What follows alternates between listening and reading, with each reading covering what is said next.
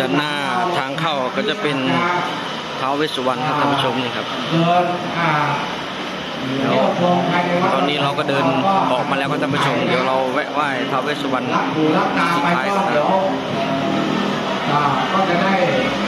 เป็นองค์ใหญ่แล้วแก้กับพี่น้องเราได้ได้